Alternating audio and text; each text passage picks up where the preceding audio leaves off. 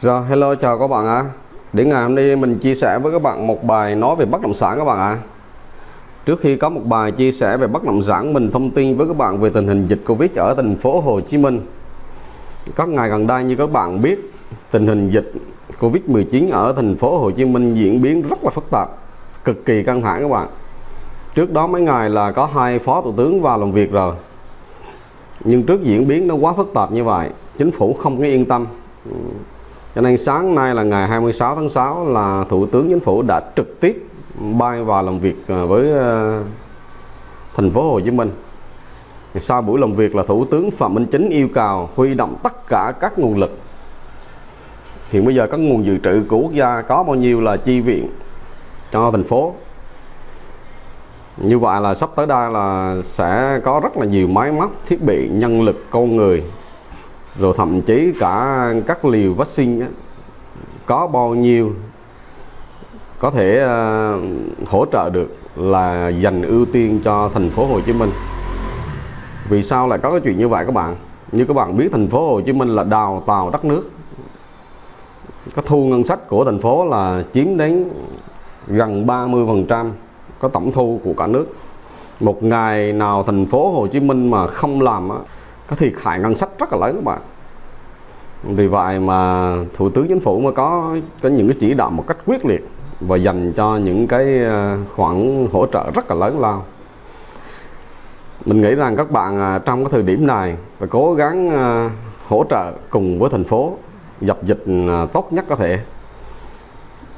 Còn có việc kéo dài giãn cách xã hội làm cho kinh tế người dân rất là là giảm sút các bạn các ngày gần đây các bạn đọc báo, các bạn thấy rằng nhiều người à, buôn bán, rất là khổ sở các bạn. Họ làm ngày nào là người ta tiêu tháng đó các bạn biết không? Nó không phải như một số người à, có tiền rồi không có nói. Ngày nào người ta không làm là ngày đó không có tiền. Rồi à, tiền sinh hoạt phí, tiền nhà, tiền cửa, rất là nhiều chi phí. Có ngày đây mình đọc báo mình thấy rất chi là đồng cảm với những người như vậy rồi chúng ta phải cố gắng thôi các bạn không còn cách nào hết. Rồi ngày nay mình à, chia sẻ với các bạn một bài về bất động sản các bạn ạ. Như các bạn biết ngày hôm nay là ngày 26 tháng 6 rồi. Chỉ còn vài ngày nữa thôi là kết thúc 6 tháng đầu năm. Thì nhân cái dịp này mình có một cái bài nhỏ chia sẻ với các bạn để nêu một số cái sự kiện nổi bật nhất tình hình bất động sản 6 tháng đầu năm. Có gì hay để mình à, chia sẻ mình tổng kết mình gộp lại cho các bạn. Có một cái bức tranh tổng thể 6 tháng đầu năm có gì hay không? Và mình cũng ờ, xin ờ, chia sẻ một số kịch bản có thể xảy ra trong 6 tháng cuối năm.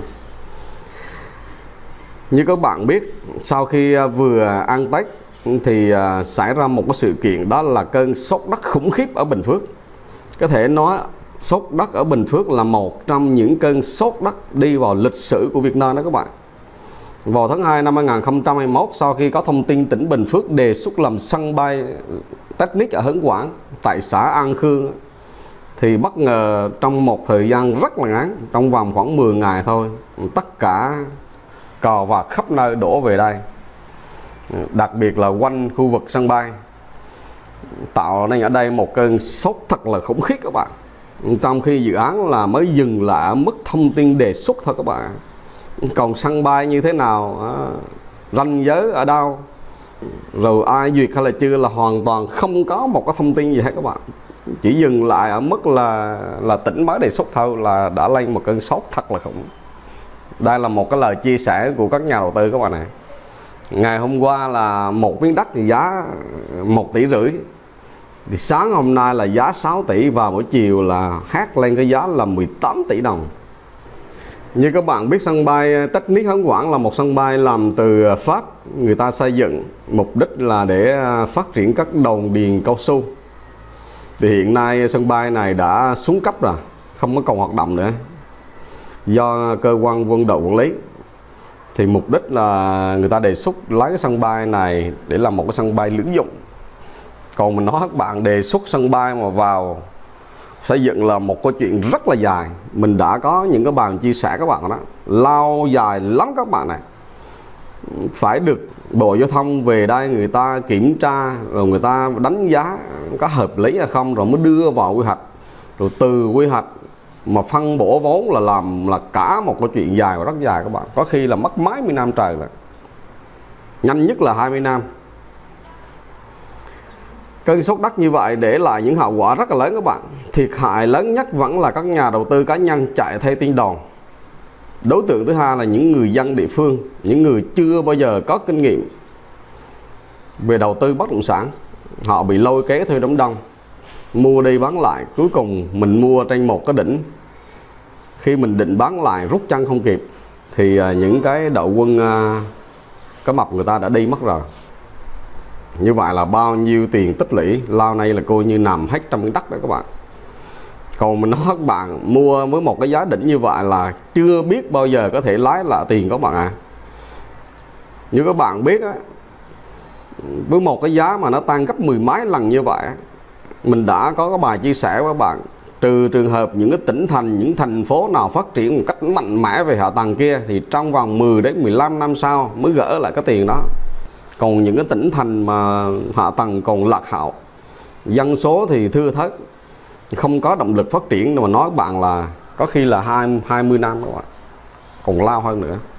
Và người được lợi như bạn biết là những đội quân cá mập, người ta làm việc một cách chuyên nghiệp. Người ta đánh úp, rồi người ta rút đi.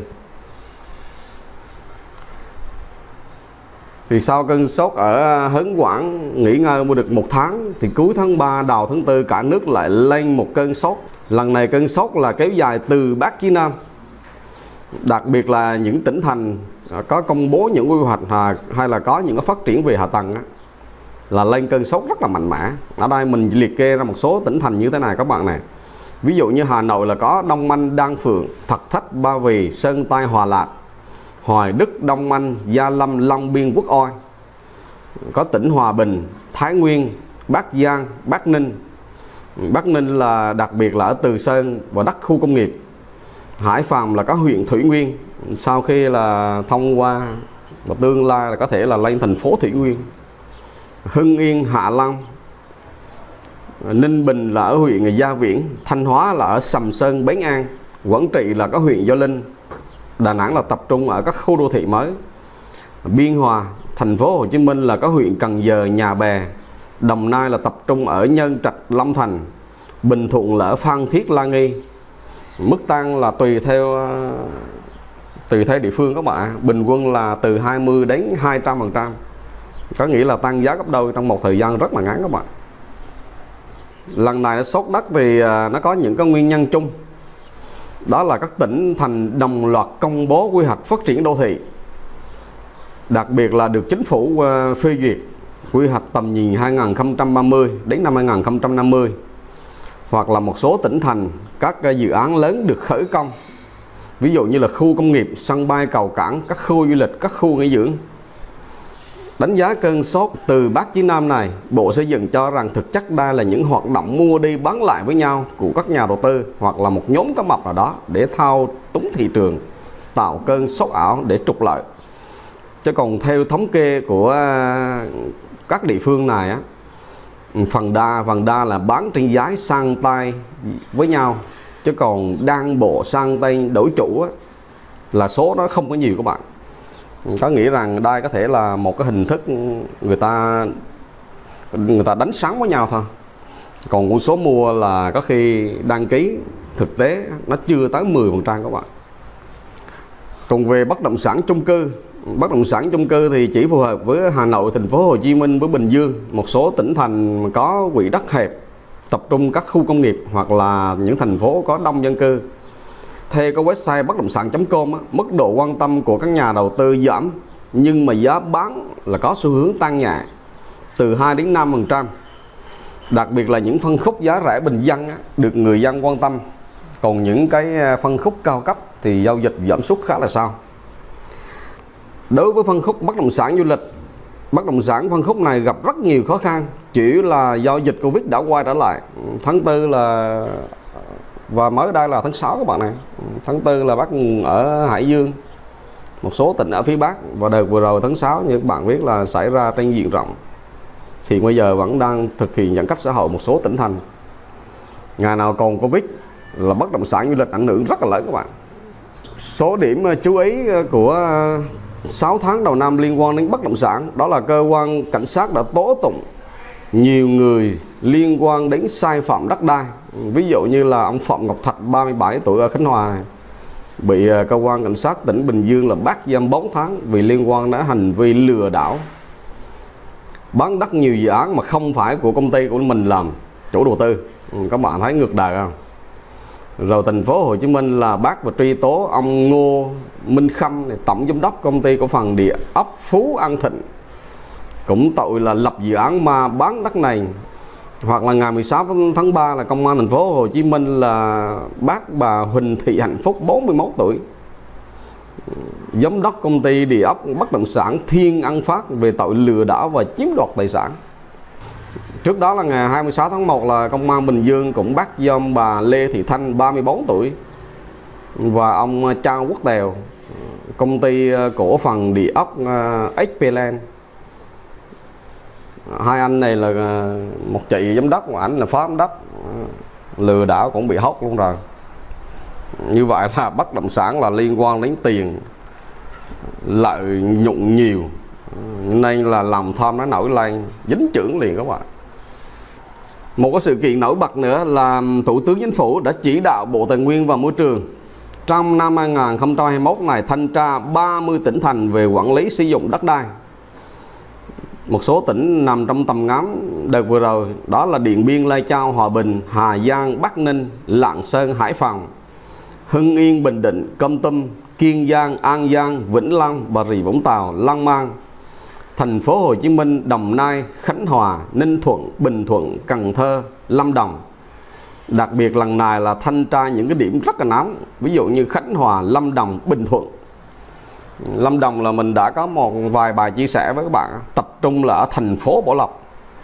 Những cái đầu chè là ngày hôm nay là dường như không còn nữa các bạn phá tan nát cái trang rồi sắp tới là sẽ có một số anh là sẽ bị đưa vào lò đốt đang thui đó chứ không hề đơn giản nào các bạn ạ à. liên quan đến sai phạm đất đai là dễ bị truy tố trước pháp luật đó các bạn đợt vừa rồi là một số quan chức tỉnh thành mình không nói là các bạn ạ à, là đã bị truy tố rồi sắp tới thành phố Hồ Chí Minh cũng có một số anh vô lò. Đợt vừa rồi Bình Dương cũng có râm ra một số anh rồi các bạn nè. Như vậy là sắp tới là lò của bắc trạm là kéo đốt đốt sạch hết. Cứ chỗ nào sai phạm là cứ kéo lò tới đốt thôi. Chứ còn cứ để mà cứ tình trạng sai phạm đấy cái dài, luật pháp thì có hết rồi. Chứ không phải không có rồi các bạn. Mà lao nay luật pháp mình không có nghiêm, cho nên là quan chức nhờn các bạn biết không các bạn hãy tưởng tượng qua là cách đây mười mấy năm các bạn này cái sai phạm rành rành ở đó, rồi xử lý kiểm điểm nội bộ dỗ lắm, phê bình ờ, kiểm điểm rút kinh nghiệm là sao? Không có đưa ra tòa xử lý, không có đưa ra công an điều tra. Đợt này là khác các bạn. Đợt này anh nào sai phạm là chuyển qua cảnh sát điều tra. Mà chuyển qua cảnh sát điều tra là nguy cơ có án rất là cao. Cho nên là về hưu rồi cũng không yên tâm đâu. Ừ, cho nên mấy anh mà mà mình đương chức làm cho đúng luật pháp à, chứ không phải là ưng ưng bẻ lái là có ngày luật pháp sẽ sẽ hỏi tham. Ừ, và lò bắt trạm sẽ kéo từ đó mà đốt. Mình không biết là đốt bao giờ cho nó hết nhưng mà cái đốt được bao nhiêu đốt đã các bạn chứ còn Việt Nam mình đốt không hết đâu, mình nghĩ là như vậy. Nếu có đốt ra chăng nữa mà sám ít nhất phải giờ chục ngàn cái lò đó. Chứ còn mình có lò bắt trạm đốt, mình thấy chả ăn thua các bạn. Bây giờ nói như nói chứ, hệ thống luật pháp vẫn là chủ yếu. Chứ còn bây giờ bắt trạm đốt thì vài nữa bắt trạm hết làm rồi thì ai sẽ là người đốt đây? Nó có câu chuyện làm cho đó các bạn này phải quản lý đất nước bằng luật pháp đó là cái gì các bạn? Đó là bằng ờ, cái gì cũng công khai, minh bạch. Ví dụ như vậy. Tài sản là phải công khai, phải minh bạch. Dân được quyền kiểm tra, giám sát. Chứ còn cán bộ bây giờ là mọi thứ âm âm u u như vậy thì thì làm sao không sai phạm được. Tài sản ông có bao nhiêu cũng không mà biết hết. Khai sao là ông cắt tủ, ông đám đám tập lại rồi ông kêu là bí mật là thôi chịu rồi nhiều người nói bạn bây giờ là đất cát rất là nhiều.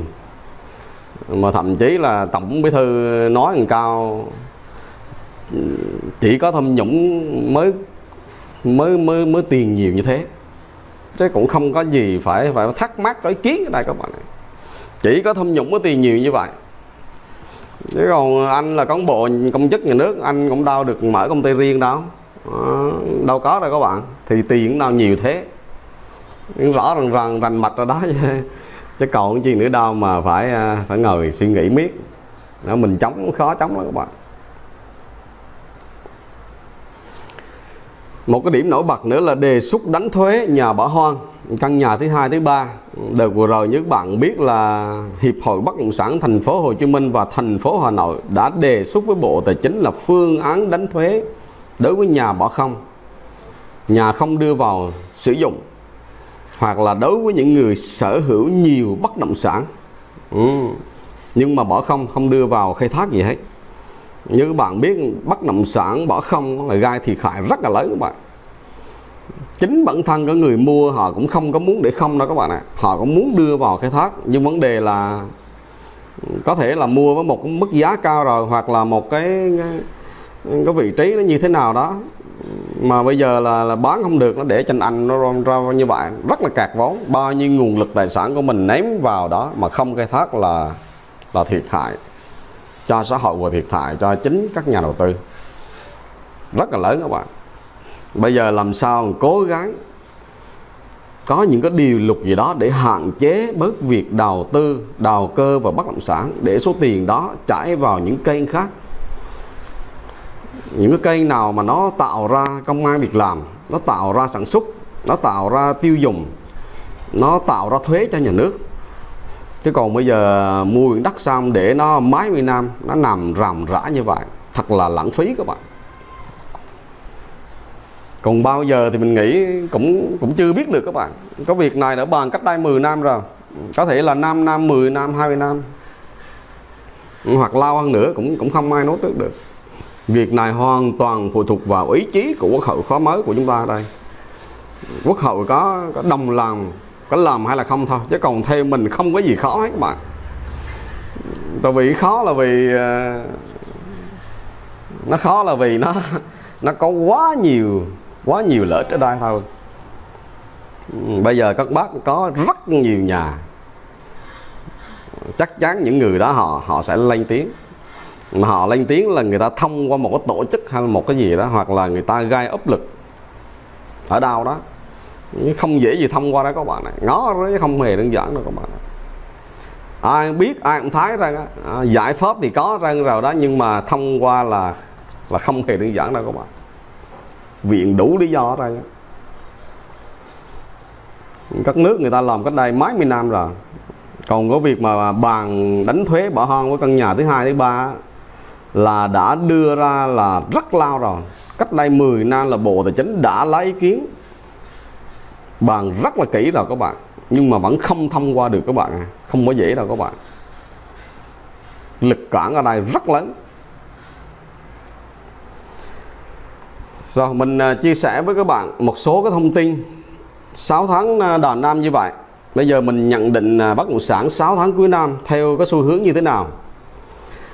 Trước hết, mình phải nói rằng à, những yếu tố nào tác động đến thị trường bất động sản cuối năm. Thứ nhất là dịch Covid-19. Dịch Covid-19 là tác động rất là mạnh mẽ. Dường như tháng bây giờ là nguyên nhân số 1 các bạn. Ngày nào còn dịch Covid-19 nó còn nghiền hữu là kinh tế Việt Nam của chúng ta còn rất nhiều khó khăn. Thứ hai nữa là tiến độ giải ngân các gói đầu tư công. Như các bạn biết là đợt này đã có dấu hiệu chậm chạp là rồi À, lý do là bởi ảnh hưởng do dịch. Tình hình thi công là tạm dừng hoặc là chậm tiến độ lại. Một nguyên nhân nữa là giá cả vật liệu leo thang. Cách đây là chừng mấy tuần, các bạn nghe là thép đã tăng gấp đôi giá. Rồi xi măng, rồi một số vật liệu khác. Một số à, tuyến đường cao tốc đã làm một cái báo cáo gửi lên cho bộ giao thông vận tải là báo cáo về tình trạng là khan hiếm vật tư còn các ờ, nhà thầu xây dựng làm kiến nghị lên Thủ tướng Chính phủ và một số bộ ngành khác can thiệp kịp thời về tình hình giá thép. Một số dự án đang có nguy cơ là đình trệ thi công, kéo giãn tiến độ. Thứ ba là thu nhập người dân và doanh nghiệp giảm sút khá là sao, cũng ảnh hưởng đến thị trường bất động sản. Hoặc là lãi suất ngân hàng. Ngân hàng có duy trì lãi suất thấp như thế này hay là điều chỉnh như thế nào là cũng ảnh hưởng rất là lớn đến thị trường bất động sản. Hoặc như lạm phát lạm phát được khống chế tốt duy trì tốt thì bất động sản có cơ hội phát triển. Còn lạm phát mà tăng tầm tầm cỡ 90 mình nói các bạn là bất động sản cũng cũng bỏ của, của trả lấy người các bạn. Đó là lịch sử đã từng chứng minh rồi các bạn khi nào lạm phát mà trên 10% là có vấn đề hết á. Khi lạm phát tăng cao là điều gì xảy ra các bạn? Là ngân hàng sẽ rút tiền về bằng cách là tăng lãi suất ngân hàng. Lãi suất ngân hàng bây giờ tiền cho vay tầm tầm khoảng 90 thì ờ, bất động sản còn chịu đựng được. Chứ còn tăng lên 15 16 20 phần trăm thì không có ông chủ cá nhân bất động sản nào mà chịu nổi ra cho nên lạm phát là một trong những kẻ thù rất là lớn đối với bất động sản. Có một số kịch bản ờ, có thể như thế này các bạn này?